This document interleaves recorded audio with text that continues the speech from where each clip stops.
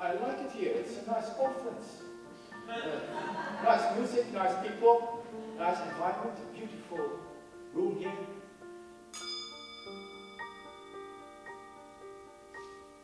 Today is a very special day. Not only because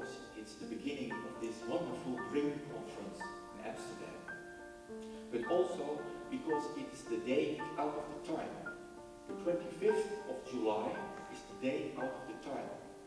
It has to do with the lunar calendar.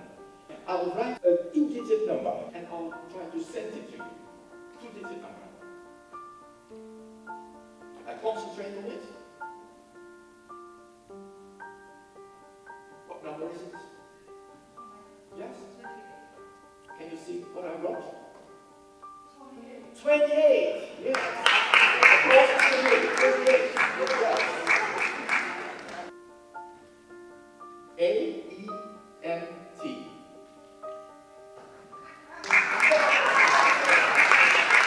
Team. Yes. And what does that mean? Do you know that?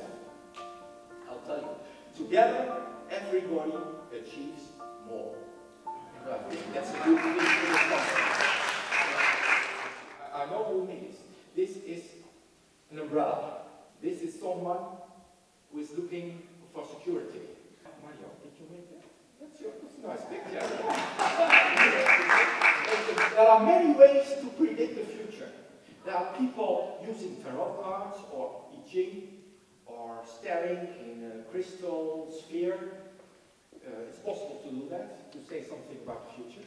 But I think there's only one way to predict the future that is best.